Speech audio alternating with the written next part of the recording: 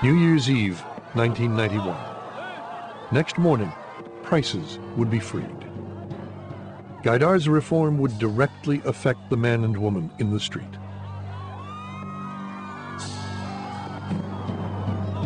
It would also mean the end of everything the communists had stood for.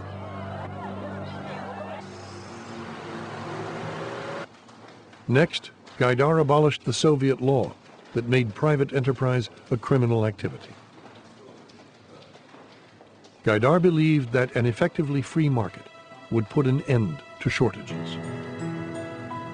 He didn't have long to wait.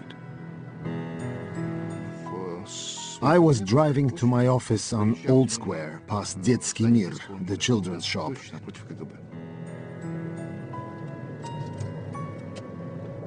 And I saw a huge crowd of people.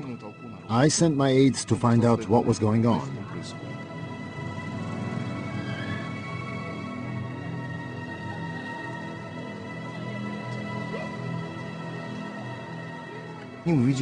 And they saw hundreds of people with various kinds of goods.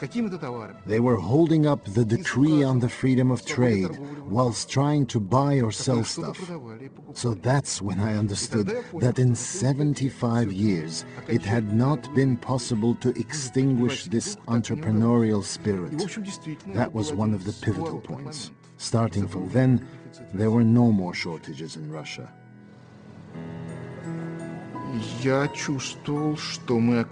I felt that we were right and that market forces worked even in this tortured economy.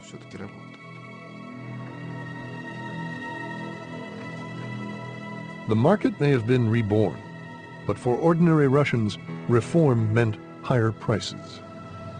I hurried to a department store to look, to look at the faces of Muscovites whether they would revolt looking, you know, at all these skyrocketing prices because Gaidar thought that they would increase twofold.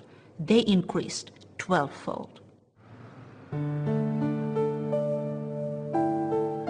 Prices kept rising. The hardliners who controlled the central bank made it much worse. Their policies fueled inflation.